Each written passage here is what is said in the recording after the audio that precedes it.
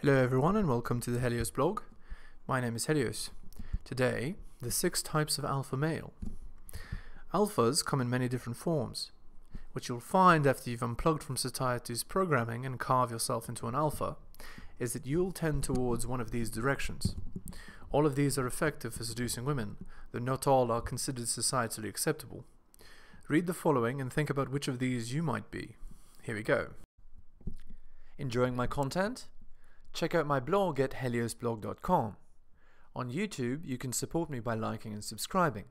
I'm also on Spotify if you'd prefer a podcast. If you're interested in my books, The Strategist's Guide to Seduction and Quotes to Live By, they're available on Amazon. In addition, you can follow me on Patreon at the Helios blog for exclusive content. On with the show. Number 1. The Air Alpha. The Air Alpha is characterized by a sheer lack of commitment to anything commitment is simply not for them. Drifters, hobos, and starving artists would all fall into this category. They usually have difficulty with money, but they don't care because they don't need it. They're extremely attractive to women because they're detached from everything. It's extremely hard for anyone to pull them back to earth, and many women spend their whole lives trying. Air alphas literally have their heads in the cloud. Russell Brand is an example of an air alpha. He never stays with anyone or anything for very long, and is extremely detached from everything. You can feel it in his style and mannerisms. He simply does not need or want anyone or anything for very long. People that are extremely freedom seeking tend towards being this kind of alpha. Number two, the water alpha. The water alpha is characterized by their life philosophy live and let live. They do things their own way and allow others to do things their own way as well. They very rarely do things like everyone else, preferring to carve their own path. Water alphas are often entrepreneurs or people who don't see life the way others do. Some artists fall into this category, as well as do some scientists. They tend to go their own way, and women find this very attractive. They have a clear direction, which is different to those around them. Women often chase that. Women are also surprised how little pressure the water alpha puts on them. Water alphas often allow the women in their lives to do as they please when they're not near them. Women feel an extreme sense of freedom while being with them, and thus are usually very relaxed and comfortable around them. Water alphas have lots of sex as a result, but have difficulty with traditional relationships. Keanu Reeves would be an example of a water alpha. Even though he's an actor, he's remained relatively normal and not ostentatious like the average actor. He's very chill and lets people do their own thing despite their own, uh, despite his own position in life. Number three, the Earth, the Earth Alpha. Earth alphas are extremely sturdy and dependable. They absolutely will not budge on who they are or what they believe in, no matter what anyone says. They are stubborn to a fault and unbending in will. Women find men like this attractive because none of their feminine wiles work on them. Earth alphas are simply too stubborn to ever bend to the will of another person. Women test and test and finally fail as they realize that nothing they'll ever try will bend a boulder to her will. Women tend to submit to his frame or leave annoyed. Earth alphas like to get their own way and need the people around them to do exactly as they want. Often, these types get into traditional relationships and have constant arguments with their partner where they refuse to budge. Clint Eastwood would be an example of an Earth alpha. He is unashamedly himself and stands by his own opinions, regardless of what other people think, believe, or want. He is a crotchety, unbending, old alpha male. Many women still see him as extremely attractive, despite his very old age. Number 4. The Fire Alpha. Fire Alphas are what they sound like explosive. They're either very happy and bombastic or angry and destructive. They're often the center of attention. Fire Alphas get into fights often and are easily annoyed, causing them to explode. Women love them because they're never boring. Even if they're abusive physically, the constant highs and lows are cocaine to many women.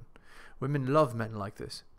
Many drug taking men are fire alphas who use drugs to make themselves even more happy or excitable.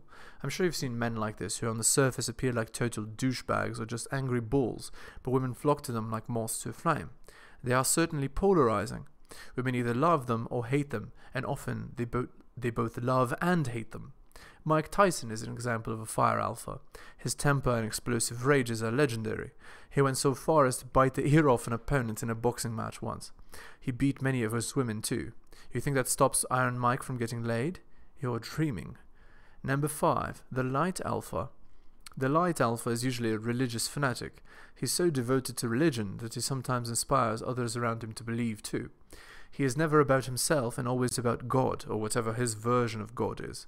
Women are attracted to men like this because they feel like there's something greater to him. How is he not selfish or arrogant? How is he an angel while being as attractive as he is? The light alpha confuses women, as the default programming tells them that this man should be beta. He is so sexy to them and they can't understand why. It is because he always defers his successes and failures to a higher power. Women can never pin anything on him. Shit tests and other attacks don't stick, as his fanatical aura repels them. He is so devoted to this higher power that it seems to women that he is impenetrable physically and emotionally. In a way, his frame is that of his god, Tim Tebow is an example of a light alpha. Obviously, the reason he has the success he has is due to his years of practice, genetics, and iron will, but he doesn't think so. He thinks God did it for him, and so his zealotry makes him impenetrable to attack. If anyone criticizes him or tries to put him down, he'll reference God smiting them or not approving, and he goes on with his day. He deflects the shit test of the world with his religious armor, and that makes him attractive. Number 6. The Shadow Alpha. The Shadow Alpha is known to all of us. Prisons are full of them. Shadow alphas don't give a damn about anyone or anything. They hurt and destroy and don't care. The Shadow Alpha does everything for his own aims and has no thought for who he hurts along the ways. Uh, many CEOs are also Shadow Alphas. Shadow Alphas blatantly break the law or disrespect authority to their faces. They are ridiculously attractive to women. They are so attractive because the rules don't seem to apply to them. Women get horny thinking about the things this guy shouldn't be doing, as he'll get into so much trouble he does them anyway. Many women also feel that if they can control a man like this, they can wield crazy power, and often they can. Imagine what it would be like to be Pablo Escobar's wife. By the way, Escobar is an amazing example of a shadow alpha. He killed and burned and destroyed many lives, all for his own aims. Many women found Escobar extremely attractive. The way that many shadow alphas shamelessly live and destroy others is a huge turn on. Conclusion There are many different types of alphas out there you will probably tend towards one of these types, if not two. All of the types of alpha are successful with women, but for different reasons. Understanding the type of alpha you are, or want to be, will help you guide your decisions in the future. If you don't associate with any of these, you're probably a water alpha. Good luck out there.